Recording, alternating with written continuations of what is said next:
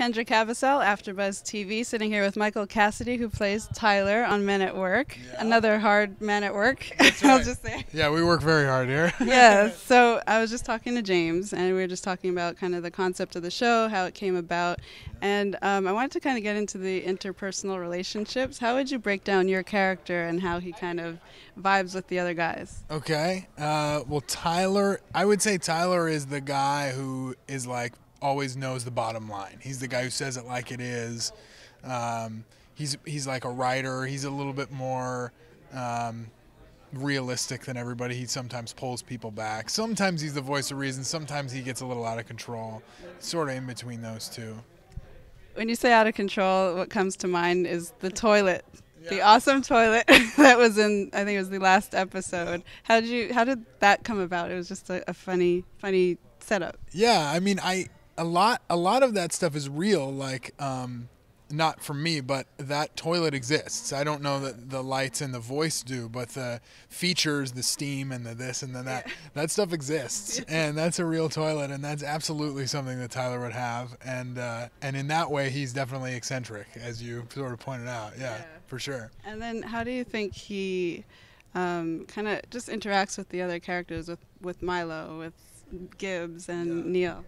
Well, I definitely think that Tyler and Gibbs sort of can go off on their own a little bit, and they get when they get together, it can be a little bit of like uh, out of control or a little tangenty, and they're both like single guys who are always looking for somebody to hook up with, and so there's that element, and they feed into each other's um, scoundrelness a little bit, maybe, and uh, and then you know I I.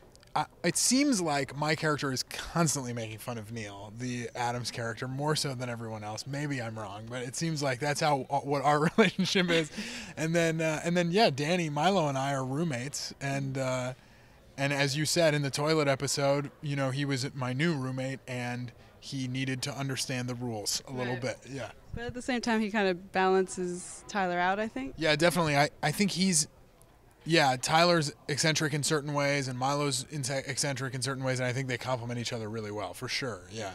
And so, and then just to take it to your background, you've done dramatic work, Yeah. and then so this is one of your first sitcoms you got involved with, Yeah, right? yeah, yeah. I did a sitcom pilot a couple years ago, and I've done a couple guest stars on shows. Um, but this is, yeah, definitely the first one that's gone more than one episode. How do you feel about the the com- com- the comedy side uh, aside from Well, you I did, drama? I did a lot of comedy before and during when I was doing shows like Smallville and Privileged and The OC and stuff like that. I was doing a lot of stage comedy, so improvisation, and I did a lot of theater. I do a lot of theater, so comedy is super comfortable for me. I had to get a little used to a bunch of cameras and stuff like that instead of one at a time. But other than that, it's been a super. It's a very comfortable.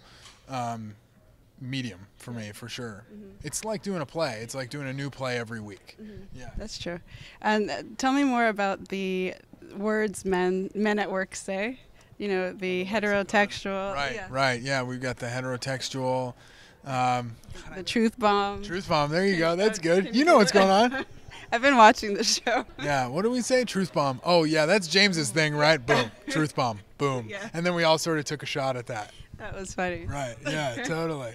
Is there any sort of word you use daily, like your own vernacular? Oh, vernacular? absolutely. I think I say the word bonkers to describe things a lot. I think I say, I mean, a lot of it is uh, inappropriate language. I definitely swear a lot and we use strange things, but I would say I use the words like gnarly and bonkers the most. I would say. and then just quickly, how what do you what are your hopes for the show? Where do you want to see it go? I want to make 300 more episodes. This is like such a fun gig. It's such a great group of people. I don't want to stop. I don't want any of them to leave when we have breaks. I want everyone to just hang out all the time. I love that. It needs to be an hour long. I'm always like, it's finished. yeah, yeah. I'm glad to hear that. I'm glad. To, that's how I feel at the end of the week. I'm like, can we just do it for a few more days? Yeah. Well, thanks for joining us at AfterBuzz, and uh, tune in to AfterBuzzTV.com to check it out. Right on. Thank you.